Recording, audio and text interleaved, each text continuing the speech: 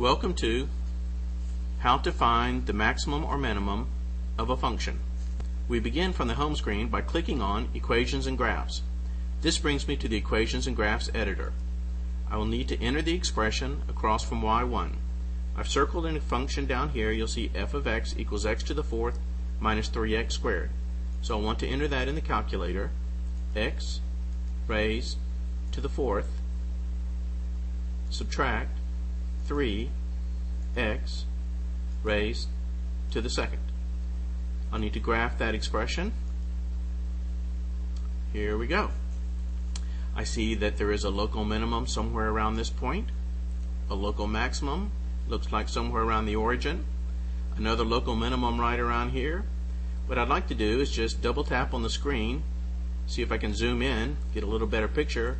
So I've double tapped on the screen, and of course by doing that, it uh, centers on that spot and zooms in by a factor of 2.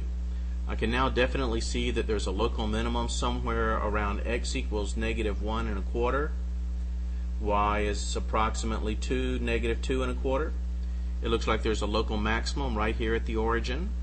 Another local minimum over here at x equals 1.25 and y equals negative 2.25.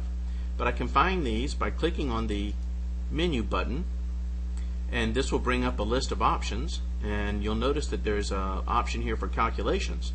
So I click on calculations. Let me find the minimum first. I click on find the minimum point and I'm going to say it's between uh, negative 2 and 0 so let me enter in here negative 2 and 0 I click calculate and I notice that it does find a minimum right here where we thought there should be one at x equals negative 1.2247 and y is negative 2.25 of course, for full screen view, I just click on close, and that brings me to the full screen view, highlighting the point that is the minimum, and it gives me the actual coordinates of the minimum, and tells me the interval on which I was searching. Next, I'd like to find this local maximum. I return to the menu screen, go up to calculations. This time I'll choose find a maximum point, and I think it's between uh, negative 1 and positive 1. So let me go up here to the calculator and enter my uh, negative 1 and my positive 1 and calculate. And I see that when I click on calculate, it does find a local maximum right here.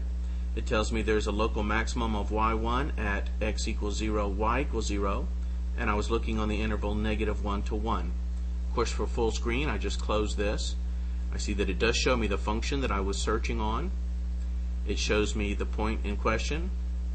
It tells me what I just found, the local maximum, and it even shows me the interval on which I was searching. You can find any maximum or minimum using this same procedure. And this ends your session on how to find a maximum or minimum of a function.